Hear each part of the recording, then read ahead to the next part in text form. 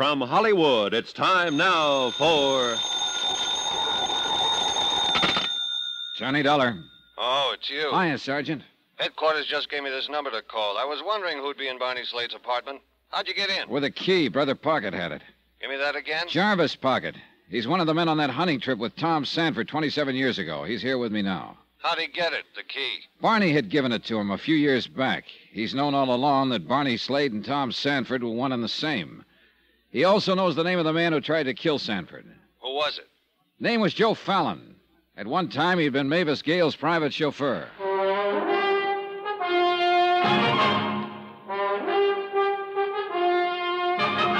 Tonight and every weekday night, Bob Bailey in the transcribed adventures of the man with the action packed expense account, America's fabulous freelance insurance investigator. Yours truly, Johnny Dollar.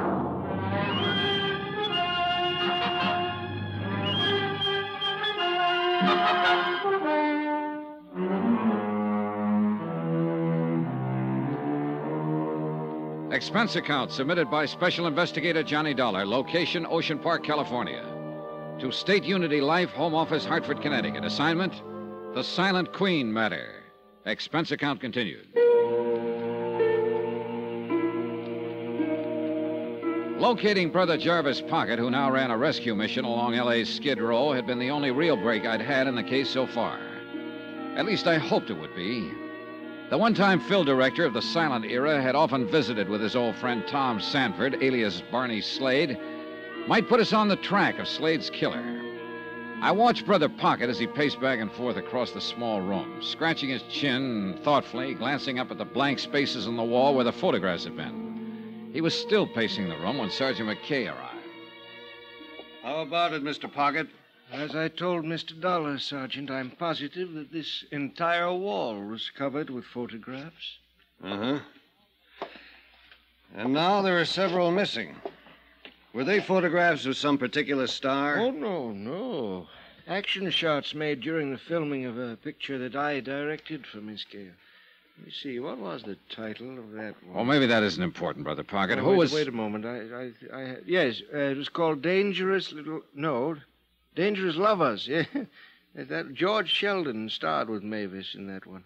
Was Tom Sanford in it, too? Uh, oh, Tom, yes, best role he ever had. Well, how about the next row of pictures? Hmm, yes, well, a, a photograph of Mavis and Tom, I believe. I can't recall the title of that film. A dreadful thing. Francis Trevelyan talked them into it and directed it, too. And should have stayed behind the camera where he belonged. And the bottom row, were they photographs of Tom Sanford and Mavis Gale? Uh, yes, yes, I'm certain of it. Uh, that picture was. Brother uh, Pocket, would you say that Tom had changed much since those photographs were made? oh, not too much, no. He put on a bit of weight. His hair turned gray, of course, thinning on top. Oh, he'd grown a small mustache, too. How about it, Sergeant? You'll notice there isn't another photograph of Tom Sanford left on that wall. Okay, so assuming the killer took these away because they might identify Barney as Tom Sanford. And link him with Mavis Gale? Yes. Yet the killer went to the trouble of drawing red question marks over the other photographs of Mavis Gale. To deliberately draw attention to her. Why? Mavis Gale would have been involved anyway to a certain extent. After all, she is the beneficiary of Slade's insurance policy. Sure, sure. But suppose the killer wasn't aware of that. Uh, $25,000, I believe, is the amount. Yeah, that's right. And you're wondering why he did it. Oh, I can make a guess. You said he'd been pretty reckless, tossed a lot of Mavis Gale's money around in the old days. May have amounted to something close to twenty-five thousand. Possibly. This may have been his way of squaring the account. Twenty-five thousand bucks and a king-size shot. He could hardly be expected to guess that his death would come about under these circumstances, Mr. Dollar. No, no, but he could have passed away calmly in his sleep some night and wouldn't have changed a thing, Brother Pocket. Mavis Gale would still have been curious about a man named Barney Slade. Oh, yes, I suppose, yes. He must have been pretty sure she'd recognize him, that it would make a nice big splash in all the papers. Was he that much of a ham? Tom, uh, I'm afraid so. He couldn't have loved Mavis Gale very Oh, much. he, Mr. Dollar, right to the last, yes. Still, he couldn't resist the magnificent gesture, the big payoff, returning her 25000 You know something, Dollar? Now you sound like you're on her side. Yeah. Well, uh, gentlemen, if that's all that you want me for, I think I'd, I'd best be getting back to my quarters at the mission. the flock may be getting a little restless, huh? you know how it is. There are times that one of the brothers will sneak a bottle of sherry into the dormitory, and things become quite gay. Sure, Mr. Pocket. You can run along, and uh, thanks. Well, good night, gentlemen. Good night. Well, Sergeant, what's the next move? What about this Joe Fallon? You said he'd been Mavis Gale's chauffeur at one time. Yeah. Pocket saw the whole thing the attempt to kill Tom Sanford 27 years ago. Fallon and Sanford were struggling. A shot went off, and Fallon got it full in the face. Sanford then decided to play dead. Yep. But ever since then, Sanford was hiding out down here under the name of Barney Slade. That is until somebody caught up to him, caught on to it three nights ago, and killed him. Big question still remains who? Come on, let's get out of here. I'll get it. Yeah? Uh huh. Right, I got it. That was headquarters. They just got a call from Francis Trevelyan. Trevelyan. He was one of the men on that hunting trip, along with Pocket and the others. Yeah. Seems Mavis Gale just heard we've been wanting to ask her some questions. She wants us to come right over. She's at Trevelyan's beach house in Malibu. The beach house turned out to be one of those super modern jobs, low, sprawling with a lot of glass and flagstone. The butler allowed us through the front door, and after a nice little stroll, we finally arrived at the den, a 50 footer at least, with a bar at one end. Mavis and a tall, distinguished looking gentleman were at the other. Evening, Miss Gale. Good evening, Sergeant. I'm terribly sorry about all this. I didn't know you wanted to talk with me. I should have left word at the house, I suppose, but I was so upset, anxious to get away. I understand. Oh, this is Francis Trevelyan, Sergeant McKay, and Mr. Dollar. We met at the funeral home. Oh, yes, I, I remember. Uh, Do sit down, gentlemen. May I offer you a drink? No thanks, Mr. Trevelyan. Now, Miss Gale, Yes. When I first informed you of Barney Slade's death at the Penny Arcade at Ocean Park, you told me you never met the man. That's right. I had no way of knowing it was Tom. Not until last night when I went to the mortuary. Had you ever been in or near the Penny Arcade at any time, Miss Gale, previous to the murder? Yes. Two nights before. Why didn't you mention this to me when I spoke with you before? I don't know. I was frightened. A man named Barney Slade had been murdered. The killer had drawn question marks on my photographs in the dead man's apartment. I... Were you afraid to tell me because it would involve you deeper? Yes. I think that was the purpose of the phone call, Sergeant. What phone call?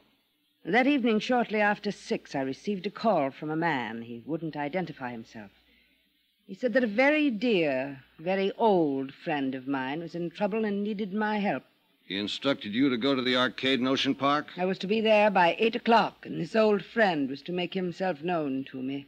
So you went. Did you see anyone? No one that I recognized. Miss Gale, does the name Joe Fallon mean anything to you? Fallon. Why do you ask that? Just a moment, Mr. Trevelyan. Why, yes. Joe was my chauffeur. Many, many years ago. And when did you discharge him? Shortly after my marriage to. To Tom. Did he tell you to get rid of Fallon?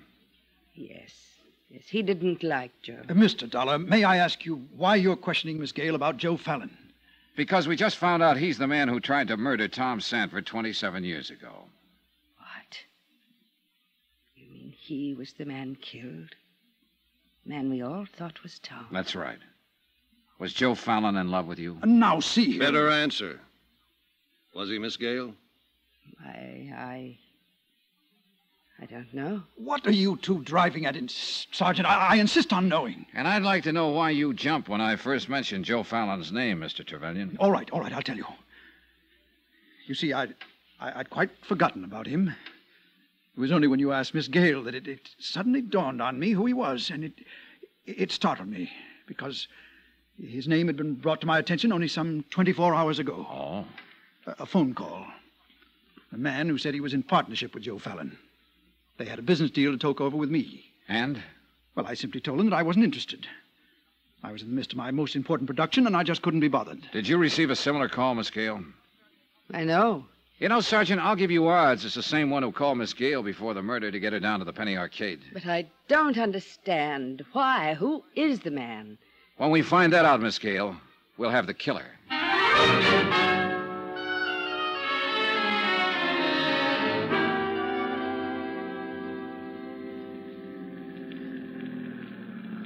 Here's your hotel dollar. Oh, yeah, right, thanks. Been a long day, hasn't it?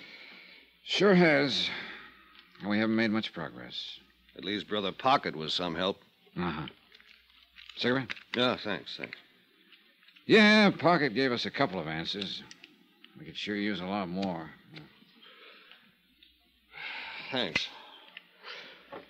You know, Sergeant, that bit about the photographs still bothers me.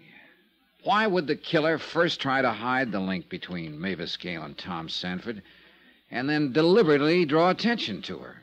You think someone beside the killer could have made those question marks on her photographs? Could be. Okay. For instance, Who discovered the body? Twyla James. Okay. You mean she walks in, discovers the body, picks up red crayon, does the art job? Why? Well, look, I just make these things up. I don't explain them. You're off the beam on this one, Johnny. When we got to Barney's place, she was shaking like a ship without a rudder. Nah, she was scared silly. Uh huh. I'd still like to ask her about it, though. Better get some sleep, Dollar. I guess. Thanks for the lift, Sergeant. Night. Yeah, the sergeant was probably right about Twyla. But I sauntered on down to the amusement zone anyway. It was late and the place was folding up. There was a nice warm breeze blowing in from the sea and the night was calm. So I continued along the ocean front, crossed over into Venice, and kept right on going. The old canals and the bridges looked more sad and forlorn than ever in the pale moonlight, with the sea in the background adding its lonely rhythm of sound. The shot had come from somewhere over by the canals. Then I saw the man on the bridge, staggering, weaving like a drunk. I headed toward him on the double, but before I could reach him, he stumbled and fell on his face. Here. Let's see how. Pocket. There. Back there. Pocket. This is Dollar. Johnny Dollar. There. Over there. He kept pointing across the canal, and then I saw the figure slinking away. I took after him. I scrambled across the bridge, and then along the canal. And then I lost him. I pulled up on the bank of the canal, looking around. Listen. Nothing. Then, suddenly, something. Footsteps behind me. But I heard them a second too late. Oh!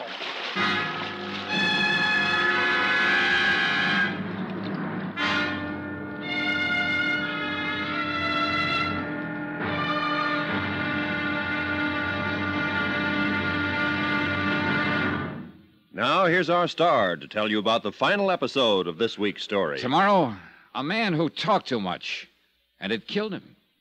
Yeah, the payoff. Join us, won't you? Yours truly, Johnny Dollar.